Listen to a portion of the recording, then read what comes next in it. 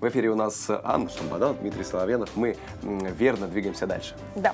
Для того, чтобы сформировать красивую фигуру, необходимо сочетать сбалансированное питание с физическими упражнениями. Я думаю, что вы да. в курсе. Ну, таким образом мы получим красивое и здоровое тело, что, конечно же, конечно же, улучшит наше настроение и самооценку. Поговорим на эту тему с гостем. У нас сегодня в студии Татьяна Попенова, фитнес-тренер, диетолог, нутрициолог. Доброе утро. Татьяна, Доброе здравствуйте. Утро. Э, Тема эфира сегодня у нас День идеальных фигур. Соответственно, вопрос, из чего, из чего складывается вот эта вот э, идеальная фигура? На самом деле э, нет идеальной фигуры. Нет. Я так и знала, это миф. Да, для каждого человека понятие идеальная фигура индивидуально. Для кого-то это эм, подтянутая фигура, да, с хорошим объемом мышечной массы. Для кого-то, наоборот, очень тонкое, грациозное да, тело. Для кого-то это э, какие-то более пухлые объемы какие-то, да. Поэтому для каждого человека это индивидуально, и каждый сам выстраивает тот образ, который он хотел бы видеть.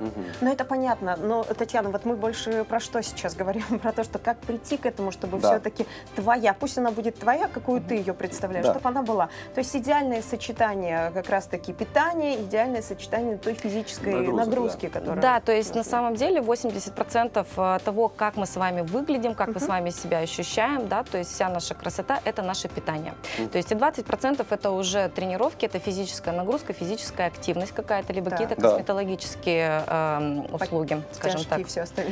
Ну, скажем так, да. Но, тем не менее, 80% это питание, это наша еда.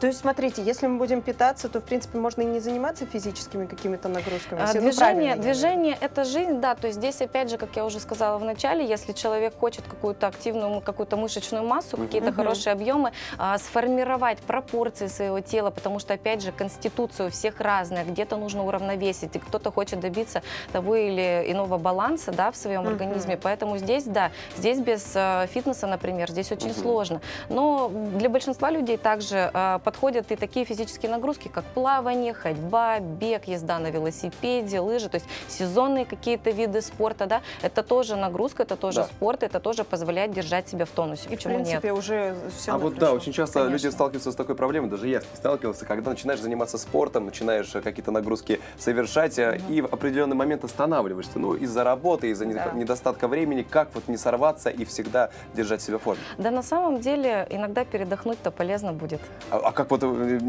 перестать отдыхать, собственно, и снова войти в этот ритм? А, я дум- Мотивировать Да, себя. мотив- чем какой-то стимул, замотивировать? себе поставить. Ничего страшного в этом нет из-за того, что вы немножечко остановились, немножечко перестали. То есть вы, в принципе, понимаете, к чему вы идете, для чего вам это нужно. Иногда человеку нужно сделать небольшой отдых, небольшой перерыв, и это нормально, потому что сейчас идет гонка, гонка вот за этим красивым фигурой, Да, за да. идеальным телом. Пресс. То есть это все, люди присыщены этой информацией, и на самом деле очень тяжело находиться в постоянном напряжении, потому Мгм. что. Работа над своим телом – это труд. Это очень большой на самом деле труд, и люди устают от работы, от дома и от фитнеса в том числе. Поэтому иногда, если человек понимает, организм устает. Он устает не только физически, но и психологически.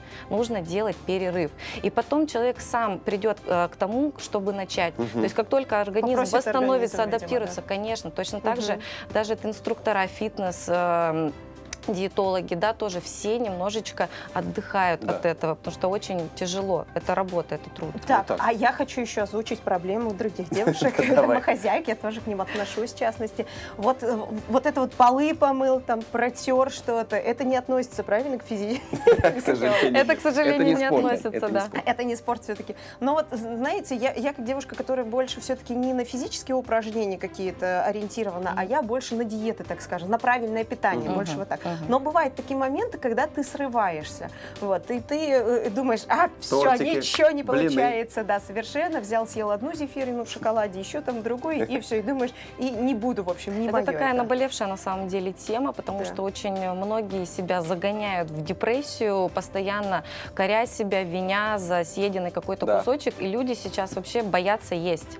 Они боятся есть, потому что теми или иными методами, да, то есть они кто-то скинул вес, кто-то Да. наоборот наоборот понимает, что он будет поправляться, и люди боятся съесть что-то лишнее. Мгм. Это э, неправильное отношение, скажем так, это уже психологическая проблема. Потому что если вы в самом начале пути, и вы что-то где-то подъели, где-то сорвались, ничего страшного, начинаем все сначала, не нужно ни в коем случае себя обвинять, Корить, да. корить, Мгм. конечно, не нужно заниматься самоедством вот этим, Мгм. да, просто начинаем сначала. Еще раз сорвались, начинаем сначала. Если это Всё. систематически, конечно, вы себя постоянно угнетаете, здесь необходимо обратиться либо к специалисту, либо к Да. диетологу и к психологу обязательно, да, то есть такие случаи есть. Татьяна, ну что, сделаем вывод, правильно? Если у вас есть цель, дорогие наши, то вы обязательно к ней придете. Если чуть-чуть сорвались, то ничего страшного. Мы надеемся, что у вас все получится. Поэтому самое главное не с понедельника, а вот со вторника начать Да. точно Здесь и будет, сейчас. будет хорошо. Да. А мы благодарим, мы благодарим, Камиль, большое Спасибо. за здоровые советы нашу гостю сегодняшнюю. На студии была Татьяна Попенова, фитнес-тренер, диетолог, нутрициолог.